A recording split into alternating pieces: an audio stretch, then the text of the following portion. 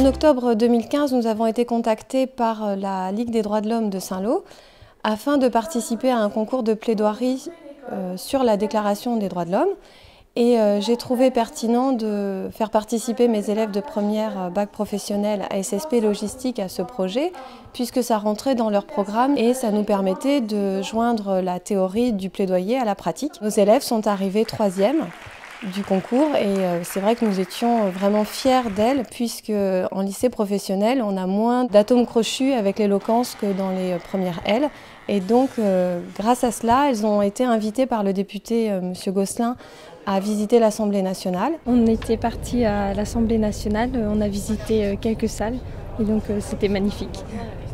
Voilà, on a vu de, tout, on a vu une grande bibliothèque, c'était vraiment magnifique et on a appris beaucoup de choses sur l'Assemblée nationale alors qu'on ne connaissait pas trop euh, certaines choses. Et on a même assisté à une séance euh, de l'Assemblée nationale où dedans on a vu pas mal de ministres, des députés, etc. Comment ça se déroulait. Ça permet surtout de découvrir plein de choses. Voilà, donc comme à l'Assemblée, euh, les salles, on, on s'imagine pas vraiment comment c'est à l'intérieur et donc ça permet d'avoir une idée.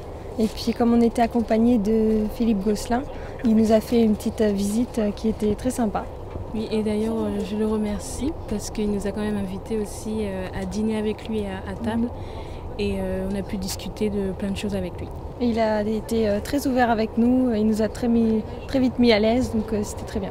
C'est important pour moi, mais c'est important aussi euh, pour eux. Ce sont les lauréats d'un concours d'éloquence qui a été organisé par la Ligue des droits de l'homme. Je trouve que c'est une belle initiative, pouvoir permettre euh, aux, jeunes de sortir un petit peu de leur quotidien, de leur ordinaire, euh, pouvoir essayer de prendre un peu le, pouls d'une grande maison comme l'Assemblée nationale, essayer peut-être très modestement de, s'éveiller à, la citoyenneté, et je le dis sans aucune grandiloquence ou, ou volonté de, surdimensionner l'événement mais, je crois que c'est quelque chose d'important. Ça permet de voir un peu les ambiances, les lieux, et, ça aussi, ça fait partie de l'éveil. Un message aussi finalement plutôt de, tolérance euh, euh, au hasard des, rencontres. J'ai pu croiser des collègues euh, dont je ne partage pas nécessairement tous les points de vue, et, réciproquement, et leur montrer aussi qu'on est parfois dans le quotidien loin de certaines outrances, loin de certains débats un peu, difficiles, un peu chauds, et, que plus qu'on ne pourrait le penser, on se respecte on sait débattre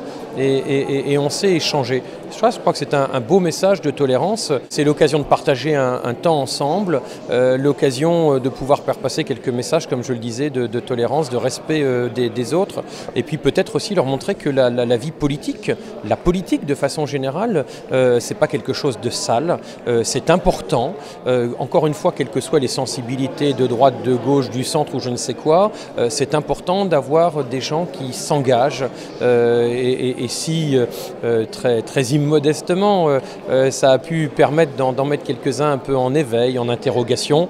Ah bah écoutez, euh, au-delà du plaisir d'avoir passé un bon moment hein, et intéressant ensemble, peut-être aurons-nous semé quelque chose et, et on verra dans les années qui viennent. À bientôt sur tv.tv.